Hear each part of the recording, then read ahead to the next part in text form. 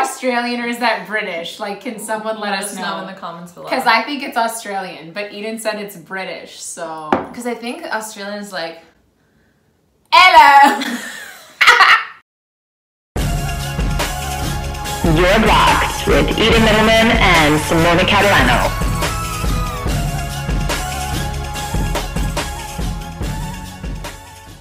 Hi guys. It's been a while. Hello! yeah, it's not fun anymore. It's Simona. not like, funny. It's not funny, but like. I don't think it was ever Low funny. key. What? It was funny like the first three times I did it, Eden. Welcome back. Welcome back to another week of Your Blocked. Look at that, I said it normally. We're normally like, welcome back to Yeah. Your Blocked with Ina Middleman and Samana Catalana. You know, I think that the nasally, the nasal, it just it's like more intriguing than just saying you're blocked. Like you're That's blocked. That's boring. But if you say like, you're, You're blocked, blocked. Like it kind of You sounds, see? it sounds like a buzzer. like it's the noise I hear in my head when they block someone. Like, Exactly.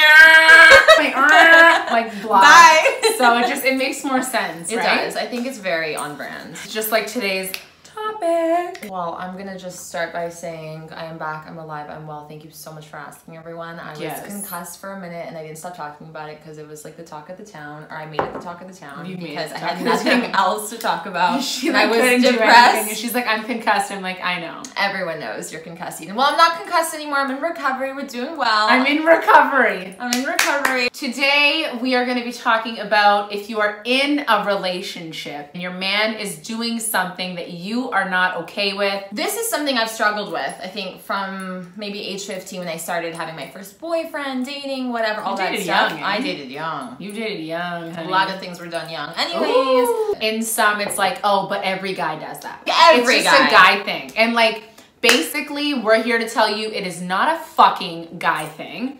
And if you are not okay with it, you need to vocalize and communicate that because at least then he knows you're not okay with it. And if he continues to do it, then you have a problem. Yeah. And We're gonna go into examples. We're gonna zoom in, zoom out, is what we like to call it. We're gonna challenge these societal norms, what the majority thinks is okay with. We're gonna specifically talk from our experiences because that's all that we're qualified to do. That's all that we're qualified and, for. and this is what we've experienced, and so a lot of these topics are controversial. We are never trying to be aggressive. I'm just gonna preface this. I love using the word preface. We're not trying to be aggressive here. If that's how you're taking it, it's more so of like, check yourself because we're coming from a place of like passion. We're just passionate about how we feel and we know what we're okay with and what we're not okay with. So we're just gonna share. And the moral of the story, I think, is universal. If you're not not okay with something, you don't need to be okay with Yeah, it. Yeah, you- don't let anyone tell you otherwise. Exactly. That's it. If it comes from the heart, you feel some type of way about it, think about it, challenge your thoughts, and if you still feel that way after 48 hours, then fucking go for it full force. That's my rule. we tend to, as women, just internalize and not communicate how we're feeling Mm-hmm. because we don't want to feel alone. We don't want to like create an issue. We don't want to make it a bigger thing. We don't want to seem Or like you're scared. whatever. You're scared to be like that person that's talking about something that everybody else is cool with. So we are totally okay with being that person and totally okay with getting angry at our Fucking men. right. Okay, so like let's go. My favorite pastime. Number one, porn in the relationship with your man, watching porn when you're not there. It's not a activity you do together. It's literally something that he is doing on his free time while he's in a relationship with you. Right.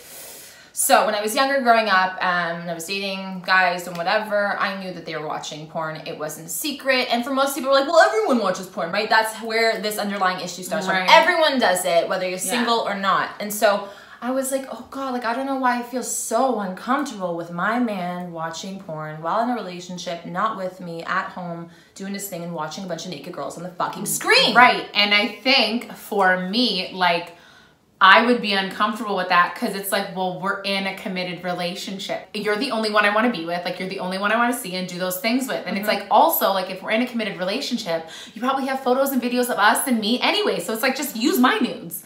Like, why do you need to go there? I felt like it wasn't right. You're still watching porn, you're watching naked people. To me, I'm like, it's the equivalent of cheating. It's like you might as well be in the same room with them naked. Now, a lot mm-hmm. of guys look at me and they're like, you're crazy, like that's excessive, like it's not cheating, I'm not doing anything. You're still looking at it. You're actively sitting there doing your thing without me, not letting me in on that. And Right. if I've communicated that to you, which is oftentimes the, the more difficult conversation or thing to do, but is the right move because you do need to make him know what makes you feel uncomfortable, or else he'll be sitting there in the fucking dark. Yeah, exactly. Worrying about it and knowing he's doing it regardless. Yeah. And then seeing what can come out of that. So what happened was I actually vocalized this to my boyfriend and I told him, hey, you know what? Like I've never been okay with that. And like Mm-hmm. I know this sounds crazy, which is the problem because I was taught that what I was feeling was crazy, which And is it's like not right. totally normal. Totally normal. It's actually more normal than like pretending that you don't feel away. When Oh, you do. Do you know what I mean? yeah. There's bitches out there like, "Yeah, I don't care. I let my man watch porn. I let my man fuck bitches. Like, it's all good. It's like, mm, Mm, is it though? are Like, you is good? It though? Are, Like, you are good? you good? I don't are know. you good? I don't know. think so. So I had that conversation with him, and then that opened up a whole other realm. He's like, you know what? I actually kind of understand where you're coming from because at first he was challenging me. He's like, well, like, oh. mm,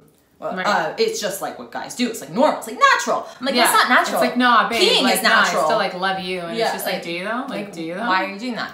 So, um, because sex is like really important to me in a relationship, and like every person I've been with, like that was also pro- probably one of the primary things we focused on. Exactly. So it, it it also probably made you feel what I'm getting even more of a way because it's like, well, we're good in that area. yeah, like I. So it's like, why are you like I fuck you like every day, multiple times a day. Like, what- what- Why do you need right? that? Exactly. And then that opens up another conversation, being like, well, you know what? I'm into this. I'm into that. And then that actually, to me, is so educational and amazing for the relationship and for your sex life. Yes. Listen, like if you're my man and I'm down, like from the get go, I'm going to communicate. There's like maybe maybe two things that are completely off the table, right? It's X and Y, and then Should it's like, but like, no, um, but it's like everything else. You don't need to pull my leg. Like I like you, and like obviously, like your pleasure is like.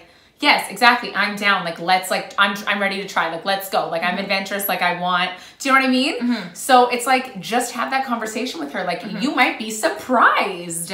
Like, she's gonna be your porn star. She wants to be your porn star. Like, stop it. That's I'm right. the fucking star That here. is Me. That is right. Oh, we also have another thing that is like universal in a sense, right? You send Oh, guys. we all know. We all know. there's the file, right? Is gonna have it like hidden, like in the back of like his fucking folders, like tucked away. You'll never be able to access it or get, but it exists and it is there. I'll tell you where it exists. External hard drive, motherfuckers. Don't you lie. We all know these guys are shaking right now in their seats. It- yeah, okay, there. And I've also had guys like be like they created like a new desktop, like like like password into a password to get like next This is why shit. women are losing their fucking minds. If you're like, why is my woman so crazy? It's your fault. It's honestly your fault. The file is like literally just a place or space where a guy keeps all his past relationships, Yes. these girls that he has nudes of. He, they save them. We spoke about this in our nudes episode, guys. If This makes me want to vomit. It, it's honestly unfortunate, but the vast majority of guys, whether they're in committed relationships or not, have nudes from their past relationships with other girls, other things.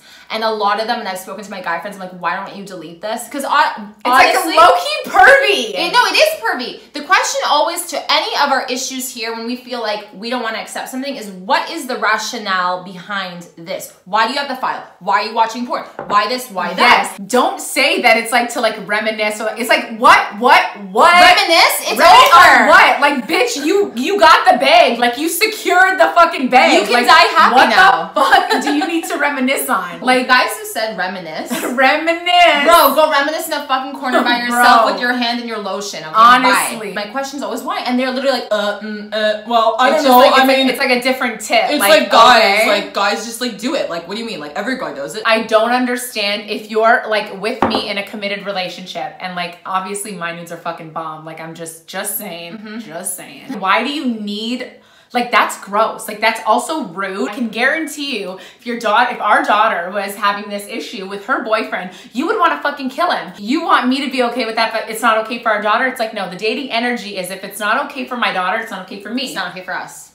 Okay? So that's the file. It's another thing that, you know, growing up, every girl knows a guy has, and we try and turn a blind eye. But if you're really up at night, like thinking about it, uncomfortable about it, and you're dating this guy, honestly just be like, listen, Call him like, out. Yeah, honestly, like we like, do you have a file? I guess- Out of curiosity, like, man, why do you guys have a file? I don't know what would be what. Here's What the is the thing. explanation? What would be a valid? Like what would be valid? There like not there's literally nothing valid. Like Okay, I'm, I'm, gonna, I'm gonna say something. I had a file as a girl. Not news. You did? No, no, no, not news. I have like a file of myself. Okay, so like I everybody- can get why my man has a file of me. No, no, no, no, no, no, not of myself. So uh, when I was younger, I'd have sleepovers with like my my best friend at the time, and we'd be like, "Oh my god, like what are our like top five guys that we would like bang in the future? We want to like make out with or whatever." So I made a file of like older guys that I knew of through the grapevine in my area, and I put it in a file, and I would just look at their pictures and be like, "My guy's so hot," but it wasn't Okay, naked. like a selfie though. But then like the minute I got a boyfriend, I know that's innocent, right? And you think, hey, whatever, it's not a big deal. But even that, the minute I got a boyfriend, I deleted that shit so fucking fast because I was like, that's so disrespectful. Here's the thing, it's just like you. I don't I'm so like a one like man type of girl. Like if I'm with you, like I I don't find anybody else attractive. Here, like here, here, here's what it is. I know guys are different. Though. no.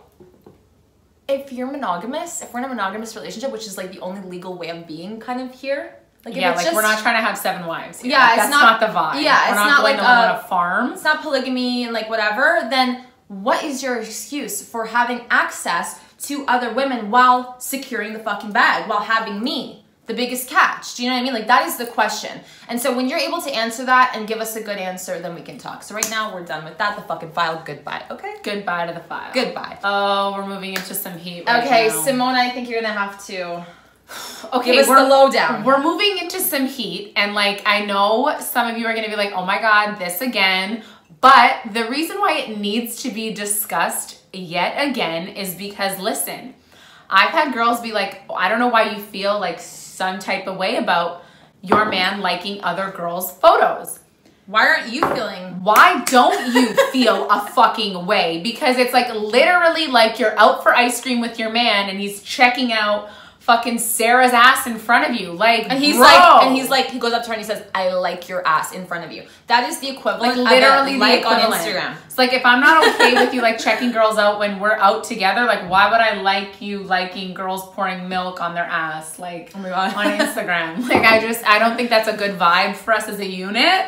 And it's just signifying to me that you're literally a 10 year old boy. And just because every guy is gonna come at us and say, it's just a like, it's what guys do, we don't need to accept that bullshit excuse because, honey, I was also a little player out in the day, liking guys' photos, following them, looking at their thing, creeping, and I know exactly why you're doing it, so don't come at me and tell me it's Yeah. just a like. if just it's a- just a like, why do it? Yeah. Avoid the heat, bro. I like literally avoid the heat. Like- Like, just don't It's like really it. easy. I know you like it. Like I know her tits are obviously you like Right. it. Like I like it. Like I get it. but like I'm not gonna be out here like liking like dudes' photos if I'm like with you. Like you're not gonna feel some type of way. Like hundred percent. It's a respect. Simona Catalano like this, bro. You'd be fucking. FaceTiming me all up in my shit. So like Why it's just we? like the reverse. It's mm-hmm. the reverse, okay? I have the courtesy of not doing that. So I think that you should extend me that same courtesy. And like also it's like half naked like bikini pics. It's not just like it's not like a style photo. It's like pure like bro, her her vagina lips are out. It all comes back down to if it's just a like or if it's so innocent, then why are you doing it? If you zoom out and look at the bigger picture, besides it being Instagram or like or insignificant to the greater good of fucking society, think about well, what if you have control of your thumbs? If you have control over Right. these things, why do you go ahead and do it? Is an active choice that you make. I don't care if you're Yeah. sleeping. You're used to doing this, your thumb is working away at liking these photos. Why? And then we can even zoom further and be like, why are you even following those people? Those of people? Do you support that? Do you support girls showing? And you know what? If you do, that's fine. You better be single, because Yeah, like if you're single, like like whatever you no want. problem. That's the rationale behind that, and that is something that we've had to really work and, and almost defend ourselves. Like always, because people are like, why? And like, here's the thing when girls come at me with the why do you feel away, it's like, listen, am I getting on your ass as to why you don't feel away? Like, if you're okay with your man Do you? in all these bitches' likes, like, fucking great Cool. for you. What are you doing? Is my question. That's my follow up question. Well, if you're cool with that, then you're for sure doing some next level shady shit too. Or or you just obviously Don't can't care. communicate that Or no, communicate. you can't communicate. You can't communicate with your man that that's not what or you have and he just ignores you or I don't know. And what I does that say? Do you see what I'm saying? So we like to um, hold ourselves accountable. You are supporting these people online by Right. doing that little like. I know it doesn't cost you a dollar, but it is saying something. There's a bigger picture to it. And I'm not a naive little girl that's gonna be like, oh, it's just a like. I'm actually gonna think about it. Like, can I post up like that? Like, are you gonna feel a way if I'm posting like Oh, that while sure. we're together? For sure. Guys hate when their girl Are does you? it, but oh, for sure. they love seeing it. So it's like you love seeing it and Mm-hmm. you want to like it, but also like you don't want me to be posting up. Okay, got it here. These are just examples that trigger us. So if it doesn't trigger you, it's not a big deal. We're not trying to come at anybody, women, men, do you, whatever makes you feel comfortable. That's Yeah. what we preach here at Your Blocked. Um, we just don't want anyone to be a fucking sheep or for girls who, you know, are just coming out of their shell and becoming, you know, a woman or whatever to feel like they need to accept what everybody else is accepting. Because if Yeah. it's not cool with you and if you sat on it and if you challenged your thoughts and if you had conversations and you still feel that way, that's valid. And if your man doesn't see eye to eye with you or doesn't give you a chance to speak and he doesn't give himself a chance to get to your level and think about it that like that and view your mm-hmm. side, you need to reevaluate who you're with.